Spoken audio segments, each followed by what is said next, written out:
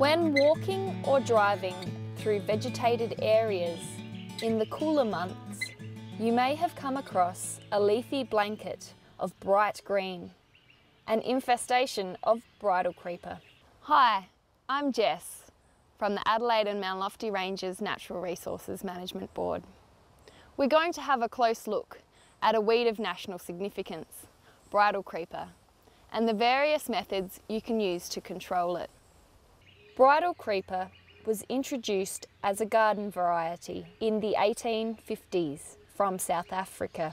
It wasn't long before it found its way out of the garden and into our landscape. It's now a prevalent weed in bushland and wooded areas of southern Australia. In South Australia, bridal creeper is a declared weed under the Natural Resources Management Act. This means that all people are prohibited from moving or selling bridal creeper. They also have a legal responsibility to control it on their property. Bridal creeper grows from fleshy tubers underground that are densely arranged along a branching rhizome. The tuberous root mat can be up to 10 centimetres thick and can account for up to 90% of the plant's biomass. The leaves are a shiny bright green colour and occur along the length of the twisting wiry stems that grow up to 3 metres in length. White flowers appear in early spring and green berries ripen to red in late spring. Bridal creeper is mainly spread by fruit-eating birds that eat the berries and pass the seeds elsewhere. Foxes and rabbits have also been known to eat bridal creeper berries. Other methods of spread include the dumping of garden waste and the movement of soil, including root mass and seeds, by water or machinery. Bridal creepers' underground root mass can significantly impact on native vegetation by making it hard for native seedlings to establish. On the surface, bridal creeper foliage shades and smothers all that grows in its path. And, if not controlled, bridal creeper can compete with native vegetation for sunlight, nutrients and water. There are a number of control methods available. The choice of control methods will depend on a number of factors, including size and density of the infestation, situation, growth stage of the plant, and the landscape. For isolated plants, such as this one, simple grubbing can be effective. It's important to ensure that all underground roots and tubers are removed, as plants can reshoot from fragments left in the soil. It's also preferable to do this before the plant produces flowers or sets seed. This method involves disturbing the soil and therefore may encourage weed seeds to germinate and establish. It's important to get underneath and lever up the root mass.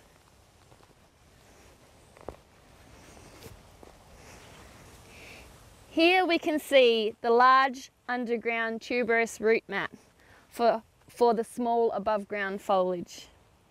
Once we have removed the root mass, it is important to replace the soil to minimise the risk of reinfestation and weed seedlings from germinating. Where grubbing is physically difficult, it may be possible to cut off the above ground foliage to prevent flowering and seed set. However, this method will not control the underground roots and tubers. It's important to carefully dispose of all removed plant material. This can be achieved by bagging any weed mass and putting it in a black garbage bag and placing it in a warm sunny spot. In effect, we're cooking the weeds and making them unviable. Any dried weed material can then be burnt or disposed of by deep burial. Among the chemical alternatives is the wiping method. Herbicide mixture is applied to the tongs of death with an applicator. This method is used in sensitive bushland situations, such as this one, where we have bridal creeper in amongst the Acacia paradoxa. Spot spraying can be used to treat patches of bridal creeper or isolated plants. When applying the herbicide, spray the leaves along the length of the stems. Care must be given when spraying larger infestations, ensuring desirable species such as native vegetation is not sprayed. Adding a marker dye to the spray mixture will help you to see where you have sprayed and where you need to spray. Remember, when handling chemicals, follow the label directions and wear the correct personal protective equipment for the task at hand. Bridal creeper is less of a problem in pasture situations as grazing animals are effective in controlling its growth, which in turn prevents fruit and seed production. There is a less traditional method also available for the control of bridal creeper, and that is in the form of the biological control agents, such as the bridal creeper, leaf hopper, and rust fungus. These agents can form part of an integrated approach and are useful for release in terrain that is difficult to access or where other methods of control are not suitable. The leaf hopper is an insect around 2 millimetres long that feeds on the photosynthetic cells of the leaves. Feeding damage appears as white spots on the upper surface of the leaves. This makes the plant use more energy from the tubers, which exhausts the plant over time. Leaf hoppers won't kill bridal creeper, but the plant will continue to grow with less vigour and, in the long run, limits flower and fruit production. Large populations of leaf hoppers can totally defoliate plants in a location. The rust fungus obtains nutrients and water from the plant by establishing an intimate contact with living cells. This diversion of nutrients is detrimental to the plant's development, limiting its ability to flower and produce fruit and more tubers. Both agents are present in our region and can be easily spread to unaffected infestations by humans. There are many good examples of effective bridal creeper control within the Adelaide and Mount Lofty Ranges region. Here at Newland Head Conservation Park, an integrated control approach has been used over a number of years. The Friends of Newland Head have been using manual removal, herbicide and biological control agents to control bridal creeper. My name is Ron Taylor. I'm a member of the Friends of Head Conservation Park. The Friends group was actually formed in 1988. We do a lot of revegetation work. We actually do rehabilitation of erosion areas. Uh, we do uh, recovery work of uh, endangered and rare species. We do mapping and we do uh, plant lists and we keep administration records and, and look after the administration of the group as well. I'm up front talking about bridal creeper. From a Newland Head perspective, we see it as a classical weed threat. This area is a park for the local native animal and bird species. And that creeper was slowly forcing them out. Not all of them, but a large number of them.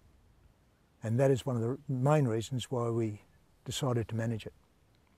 unless we knew the extent of the creeper and we were able to possibly extrapolate where it might move to with the vectors that were determined, uh, there wasn't much we could do to manage it. So we set about some mapping. It took us nearly six months. The good thing about it was we found new species in the park and we found parts of the park we never knew existed before. In 1994 we also decided that we'd start some trials. Not many people had tried to kill the creeper so we didn't know what sort of chemicals could be used. So the, a very intensive program was set up in year 2000 and also in 2001 and the results weren't all that bad actually. There, there was a severe reduction in the creeper. But what we didn't know was that when we went back to our trial plots, two years after we, the last time we did them, the creeper was coming back at a rate of knots. In other words, it wasn't all that badly affected at all. And we, so by 2002, the spray program was ended. It was decided there was no point in continuing with that. And we would rest our laurels on the effects of, say, the bridal creeper rust fungus and the leafhopper. Uh, the leafhoppers a, in a small section of Parsons Beach uh, have been spectacularly successful after an initial period of around three to four years. And today I would consider it to be a nursery area where leafhoppers could be collected for inoculation elsewhere. And the rust fungus on Parsons Beach at the rear of the dunes was absolutely spectacular and has in fact been used over the last 10 years as one of the collection areas for rust fungus for introduction in places through the whole of the Fleurieu area. And we're aware that some of the uh, bridal creeper in the areas behind the Waitpinga dunes was not largely being affected by either the hopper or the rust fungus. So we decided maybe instead of looking at um, trying to do it by hand and uh, overcoming the problems of difficult access, etc., we would bring in a helicopter and use the spore water system, which was developed by some people on Kangaroo Island. The first year we did a, a spray project was in two, 2010, and the results of that were really quite encouraging, really quite encouraging. So we have gone back in there and done some further mapping, another 50 hectares, and this year we did another spray program with the helicopter, and from here on, we'll be doing our monitoring to establish what sort of success we have with that in 2012. In 1999, the Minister of Environment of the day purchased the land required and set up a new coastal reserve. That coastal reserve contains a number of species of national significance, including the nest of the white-bellied sea eagle, which is now an endangered species.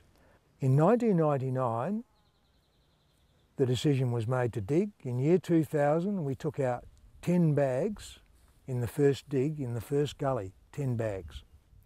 Today, if we go back to the same gully, come out and are lucky if they can fill a half of one bag.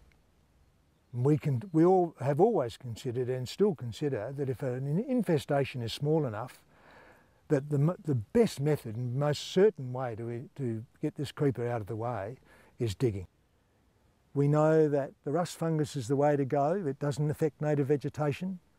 It improves the growth of the native vegetation in that the, uh, some of the uh, environmental conditions for our own natives are improved with the drop off of, of the density of the bridal creeper. And we don't want to be going in there with the chemicals like we were before. And just hoping that we're not doing the damage. So I, I dare say that uh, from here on in, it'll be current biological controls, increasing the, uh, the spread of those by hand if necessary, and monitoring of it. And then finally, I think we'll be doing some mapping of it. We'll actually get into mapping the density of the two biological controls to get an understanding of what's actually happening.